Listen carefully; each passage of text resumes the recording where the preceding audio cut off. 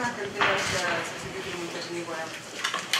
Mes tikrai šiandien apžvelgėm visas e, veiklos kryptis, bet pagrindė mano vizito tikslas tai buvo antikorupcinės programos įgyvendinimo e, klausimai ir būtent naujos programos rengimo, nes Seimas patvirtino 10 metų strategiją, tai būtent ir jį kalbėjome, kaip kokiais etapais būtų galima e, rengti e, priemonių planus ir būtent atkreipiant dėmesį į labai svarbias problemas, kurios yra būtent antikorupciniai srity.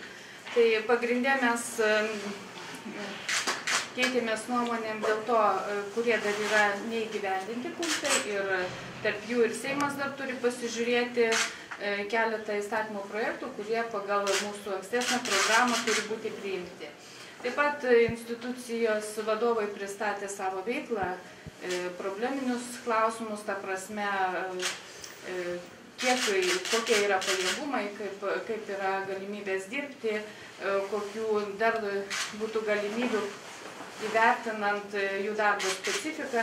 Taigi tikrai buvo apie ką pakalbėti. Galbūt norit atsproguosti, tada dabar jums niekas nekliuvo sakykim, anksčiau nėra kliuvę, labai daug buvo prastai atsitikimo apie tai, kad yra viešai politikai išvedami su antrankiais ir paskui paaiškėja, kad bylos nutraukiamos panašiai. Ar apie tai buvo kažkas užsiminta? Ne, mes tikrai nekalbėjome, mes kalbėjome grinai apie institucijų tarpusavio bendradarbiavimo klausimus, apie tai, kaip e, ir Seimas turi savo e, priimdamas e, įstatymus, reiškia, dėl antikorupcinio vertinimo ir grinai buvo tai darbiniai instituciniai klausimai.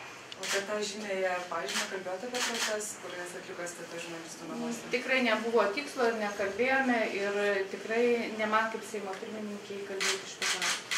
O tai Seimo pirmininkai, kokiu buvo dar arba reikia įstatymų, kad būtų kažkas geriau STT darbui atliekama? Tai pirmiausia, Seimas dar turi pabaigti, kaip ir minėjau, įsipareigojimus dėl antikorupcinės programos. Tai E, būtent dar mes turim priimti peticijų įstatymą, valstybės tarnybos etikos e, e, kodekso klausimai ir taip pat kalbėjome ir apie naujai teiktą, teiktą kuris bus neįliniai sesijoje pateiktas statutas ir būtent kaip į tą bendrą statutą įtraukti yra STT institucijos klausimai, e, kadangi jinai yra šiek tiek specifinė, tikrai reikia visur vienodų reikalavimų, e, taipgi yra apie ką padiskutuoti. Ir tai bus labai naudinga prieš susitikimą 22 dieną su komitetų pirmininkais Seimo ir mes tos klausimus taip pat aptarsime. Pirmininkė, kaip apskritai galima vertinti Lietuvos tarnybų visų veiklas, dirbant su antikorupcija, kovojant su korupcija?